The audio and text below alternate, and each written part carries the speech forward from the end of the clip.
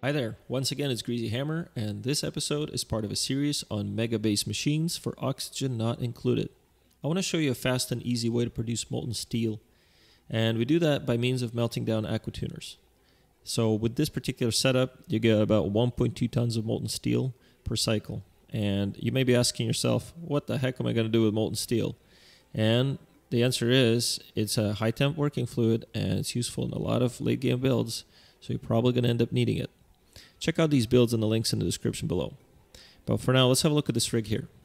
So first of all, what we've got here is a vacuum chamber. And I won't go into much detail on how to make a vacuum, but I'll sure to post a link.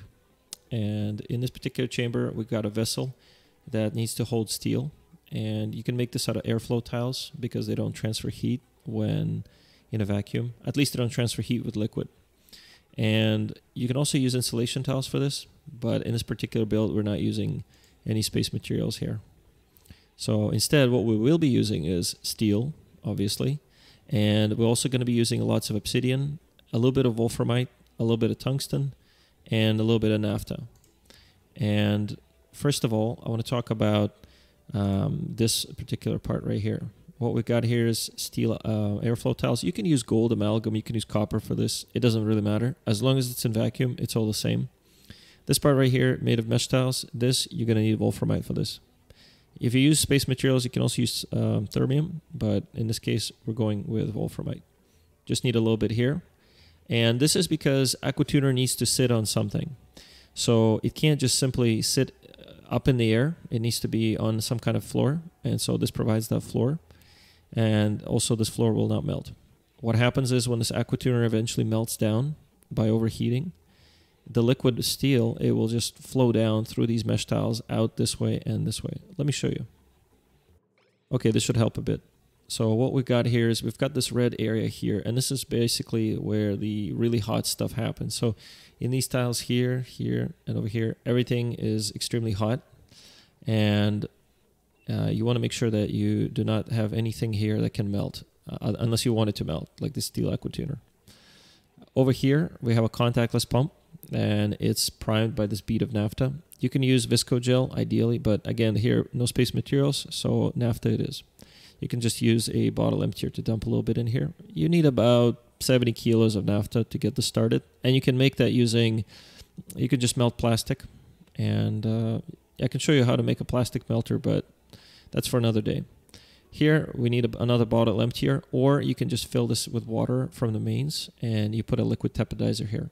And the reason for all this is just you need to grab the heat from somewhere for this aquatuner. And the tepidizer is perfect for that.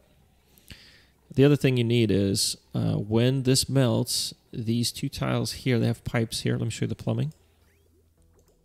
Okay, we've got pipes made out of insulated obsidian, but these two pipes will get particularly hot once the uh, aquatuner melts because what happens is there's going to be molten steel here just momentarily but there's a mechanic in the game where molten steel, as long as as soon as it's formed, it will immediately raise the temperature of these pipes to about 2200 degrees. You notice they're cooling down right now. And they're slowly cooling down because there's water continuously recirculating. And you need that. Otherwise, you're going to have um, you're going to have steam and it's going to crack the pipes. So you have a little bridge here. This is just a standard bypass bridge for aquatuners and this is going to allow the water to recirculate whether or not there's an aquatuner running or whether even it exists. Okay, there's a little bit of automation here, and this is to turn on the aquatuner on and off.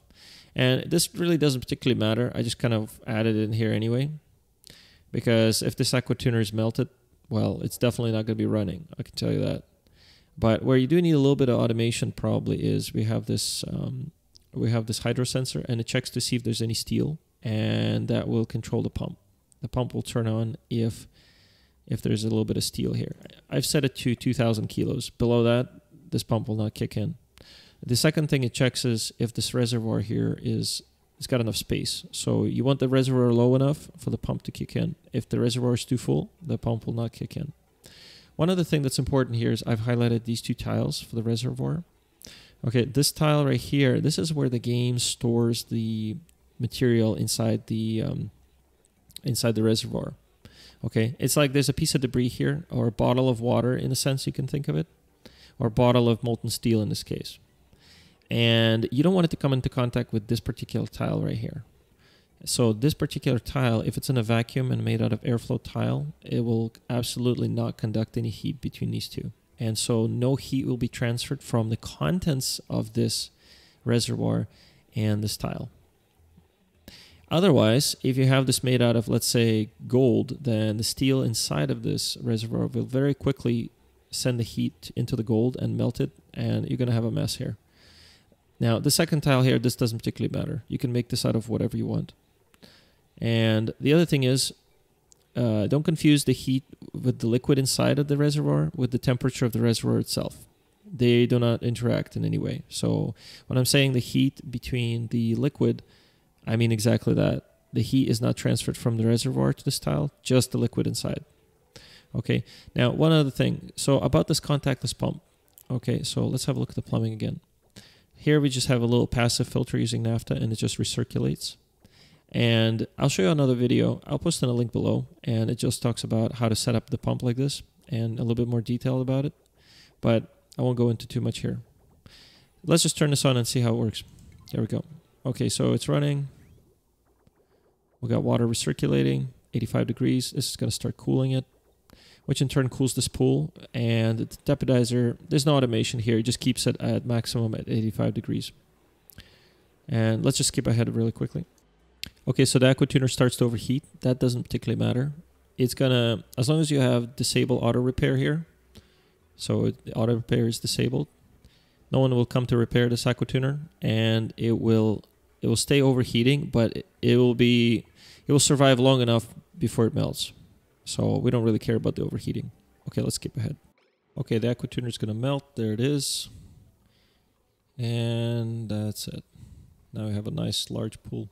And we can have the dupes come in here and then build us one more. Priority 9. And someone is going to come along and build another one and repeat the entire process. Now you'll notice again the insulated pipes here behind this are really hot at 2300 degrees and, and so. It's not an issue because the water will continue to recirculate and will just cool these obsidian pipes so they're not going to burst and the water inside also is not going to be getting hot enough so it's not going to boil. And that's it. So this will produce you about 1.2 tons of molten steel per cycle and you're going to need this for another build.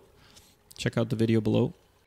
And if you found this helpful please hit a like share and subscribe. Thank you very much. Bye bye